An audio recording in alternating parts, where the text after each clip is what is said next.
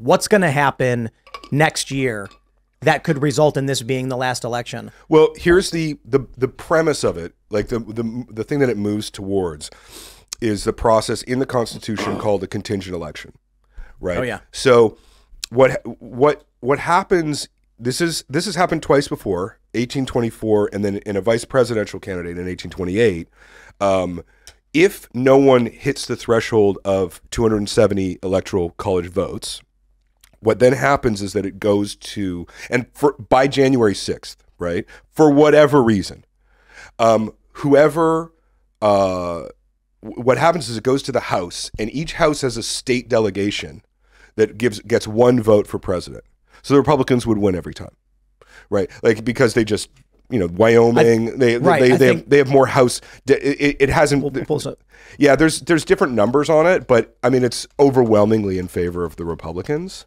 Um, so this means that by this method, there's also a separate method for uh, picking the vice president through the Senate, which would you could have a Republican president and a Democrat vice president, which would be, I mean, hilarious. But um, but you would have uh, like you would have so it would goes to the House Republican, it, it goes to the House delegates. They each get a vote, and so you have an election which is constitutional, but which does not reflect either the popular vote or the electoral college vote. Right. And so what you need for that to happen is a third party candidate with who takes a significant amount away. RFK I mean some of the numbers they're showing are pretty like what's in here, right?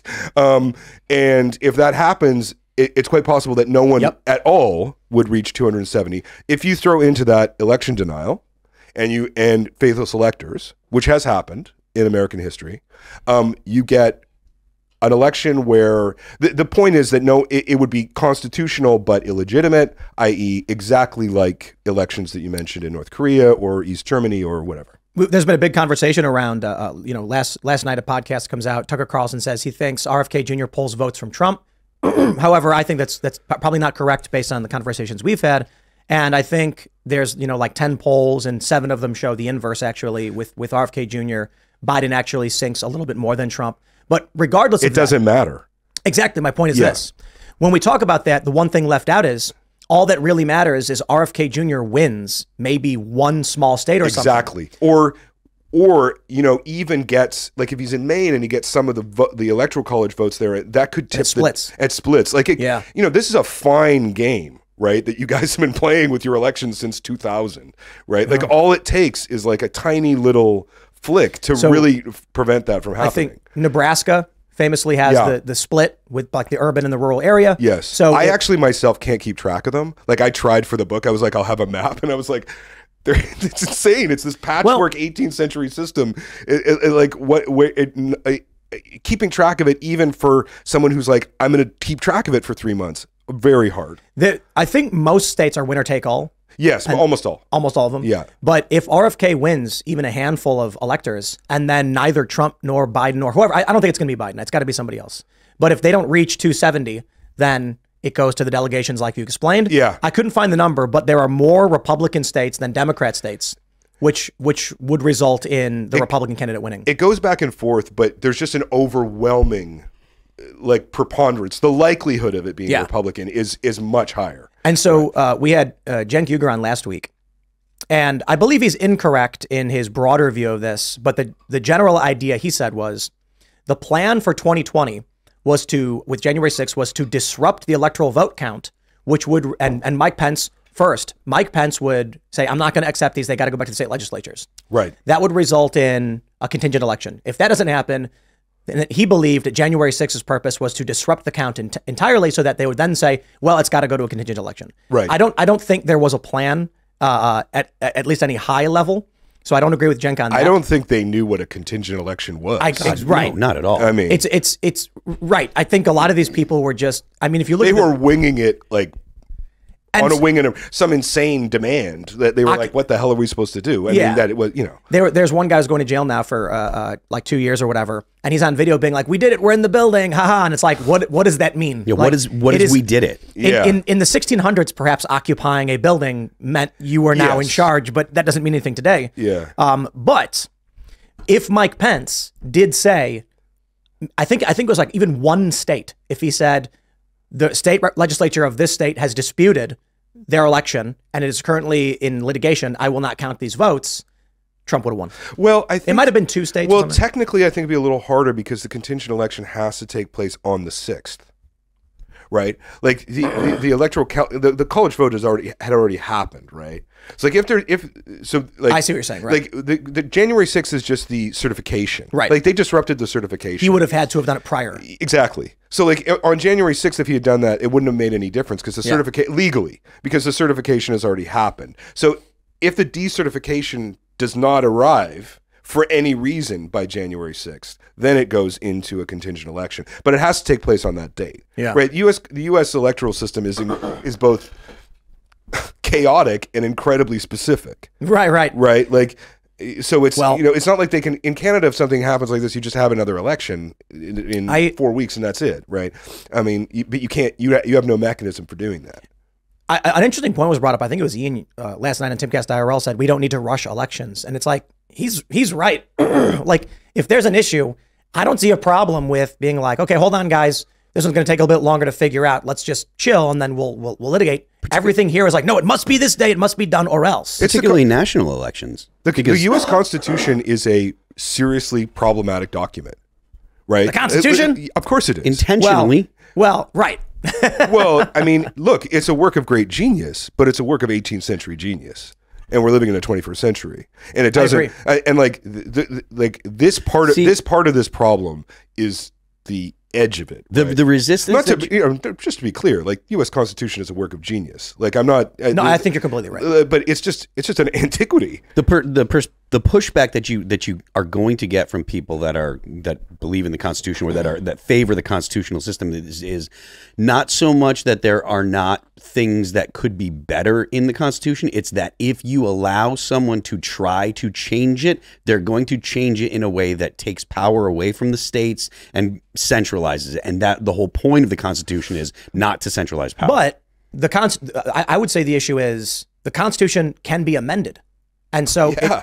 Jefferson said if you if a constitution lasts longer than 19 years, it's a contract with the dead.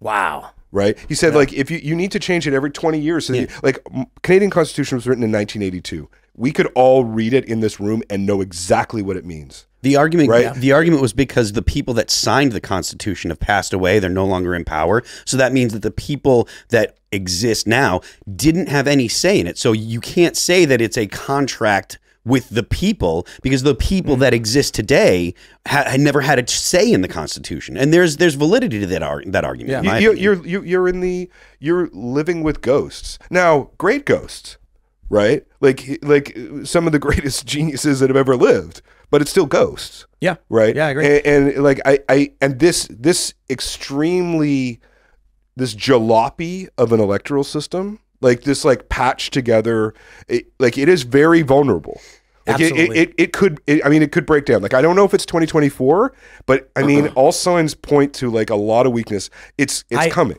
I got bad news for you, Yeah. Stephen. Um, your book, The Last Election, yeah yeah, you got it wrong. The last election was was 2020. or 2000 Or exactly, and that was the point I was going to make. We've had this we've had this discussion, and uh, it's is the last election 2024, or are we already at the point where with 2020 the dispute? Well, hold on. There was also challenges to the 2016 election. Well, hold on. 2000 was determined by the Supreme Court, and I, I'm a little kid for that. But the point is, at a, at a certain point, I mean, to be fair, you could argue since 1876 yes a council determined who was going to be president because there was a dispute. yeah We, we've we've long had these disputes, and then the machine gets mechanized. But I think, in in in, in fairness to what we're actually trying to argue, the contemporary issue, in 2016, uh, Hillary Clinton lost. yeah Donald Trump wins, and for the next several years, they accused Trump of being a, a Russian spy or a Russian agent or having colluded in some way with Russia. not my president Not my president.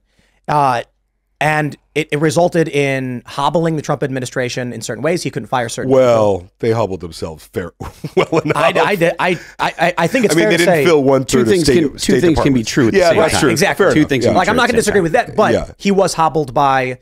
Uh, could he could he fire Comey and could he change things that a president should normally change? He wasn't able to do it. There were a bunch of other issues too. He was hobbled in a lot of crazy ways when he tried withdrawing troops from Syria. his, his advisors, the, the the commanders lied about the troop presence, lied to the American people, kept that's insane to me. And and so if we're talking about the last election or whether or not we're in a civil war, we need to consider the context from 2016 onward and probably before, like you mentioned, 2000. Well, I, I think the context from like elite institutional forms, like every see, it's so funny coming from another country because like in every other country in the world, there's a civil service that is has has the power. Right. And the politicians come and they run the country. The politicians come in, they can change the civil service, but it's like steering a massive ship right? And it, in it, you know, I remember the reason I wrote the next Civil War, honestly, is because I was in Washington for the 2016 inauguration, and a journalist calls me at like two in the morning and says like, "Hey, come to this party in Georgetown," and I, it- I you know, I was like, okay, so like I go out to this guy's house, and it was some like low level bureaucrat from FDA. Or Department of Agriculture, like you know, the kind of guy who's like responsible for the price of wheat in 2080. Do you know what I mean? Like, like, like, like, p- p- plan, The like most analysis annoying of like, type of bureaucrat. Yeah, like, like, like the most innocuous. well, yeah, and keep us alive. Like Yeah. very annoying, but keep us alive. And he taken his chair and he had all the presidential pictures, like the big presidential thing. And I said, "What happened?" he said, "No one came to replace us at the FDA. Like they turned out the lights." At the FDA, that's when I knew. Like all the other stuff, like the American Carnage speech, all that stuff. That's when I knew America's in trouble. Like, let's start to think about the deep structures of this because, like, you can get go without politicians, but without a bureaucracy, without a civil service, you're like things fall apart very quickly, right? But uh, my point is with the electoral stuff, um, the problem is that no one believes that a legitimate election has happened. So from in a s- 2016? From, from 2016, probably. It, I think 2016 is really the marker Yeah. where it's like they don't actually like 2020 2000. It's like well, there was some play and it didn't like. But on the other hand, it's like you know this that like we we understand that sometimes mistakes happen popular vote po- but 2016 people were like this was illegitimate I think- 2020 the the right i mean still they still believe it's illegitimate considering considering Barack Obama was clearly the winner in 2008 and 2012 like Yeah. clearly America Yeah. was um, generally like this the center and and the left were Yeah. very unified very very pro Obama so I think that that because of that 2016 is probably the most the, is it's it's probably more accurate to say 2016 was when And- when it really fell apart. But so here, here's the point I wanted to make 2016 election in dispute.